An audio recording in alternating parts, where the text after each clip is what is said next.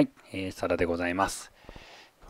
なかなか衝撃的なニュースというか記事を見てですね、えー、また取り上げさせてもらったんですが、えー、オフィスビル、オフィスですよ。オフィスのトイレでご飯を食べている、個室トイレでランチをとっている人がいるというのを見てですね、いや、マジかというような、えー、気持ちになった感じです。あの、まあ、一人でご飯を食べるぼっち飯っていうのが、まあ、寂しいとかですね、周りにどう見られてるのかがちょっと気になって嫌だみたいな感じで、えっ、ー、と、個室でトイ個室のトイレで昼ご飯を食べてる人がいるという記事でした。いや、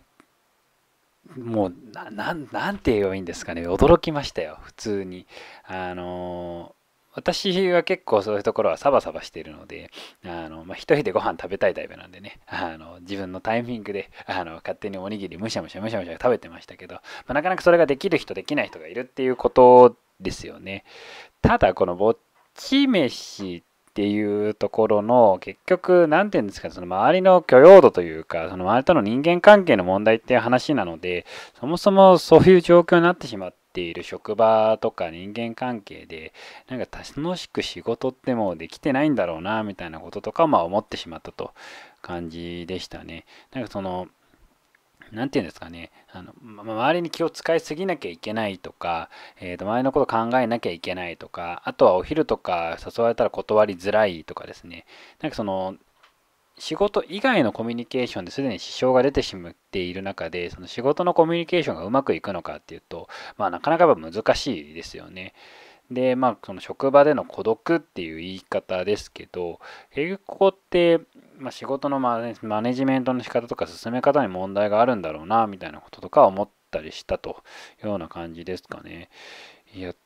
なかなか衝撃的ですよね。うん。で、まあ、今回この記事見させてもらったら、まあ、社内のカフェでコミュニケーションを取りましょうとかですね、まあ、ちょっとしたイベントをやりましょうみたいなことで、まあ、そういったコミュニケーションの壁とか山を乗り越えていくみたいなお話ではあったんですが、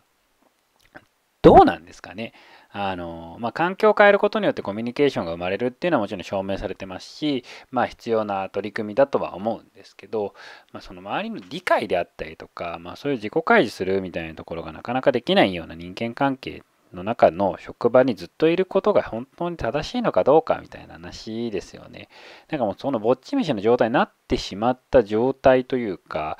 トイレの個室で食べなきゃいけないような状態になってしまっている時点で、もうその手前の関係性にも大きな問題があるってことですよね。まあそれこそなんか強要、ランチ強要されるとか、なんか噂話こそこそされるとか、なんかそういう文化とか風土自体に問題があるので、まあ環境を変えてコミュニケーションを見ましょうみたいなところもちろん大事だとは思うんですけど、まそもそもそこにいる人たちの考え方とか風土みたいなところに問題がないのかみたいなところで、なんかその手段で何とかしようっていうところで本当に解決できるのかっていうのはなんかすごく疑問に感じた問題というかテーマでしたね。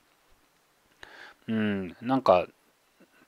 それがあの当たり前になってしまっている。で、まあそれに気づかない人たちも多いみたいなということだと思うので、このぼっち飯の問題って実はすごく根が深いんじゃないかなと。で、なかなかそういう環境っていうのは変えられないと思うので、その会社になんか依存し続けると、依存というか、まあ、居続ける価値って本当にあるのかなみたいなところとかですね、是非向き合っていただきたいなと思います。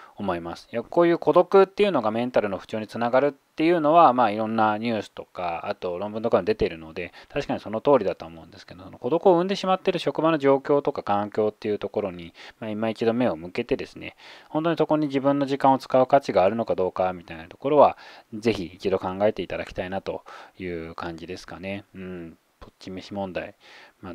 あんまり、あの、周りの人のためではなく、時間を使うのではなくてですね、自分のために時間を使ってほしいなというところでございます。本日は以上です。はい、えー、本日もお届けさせていただきました。パンダラジオでございました。えー、毎日8時からですね、えー、いろんな営業やキャリアのご質問をお答えしておりますので、ぜひチャンネル登録、あと LINE アットの登録いただけたら嬉しいです。どんどん、え、ご質問いただければそちらにお答えしていきたいと思いますので、ご質問もお待ちしております。本日は以上です。